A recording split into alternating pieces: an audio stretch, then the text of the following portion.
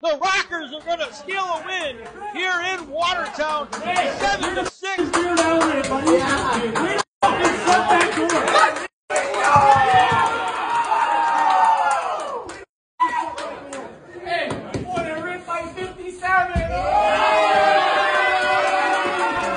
Listen up, listen up, listen up.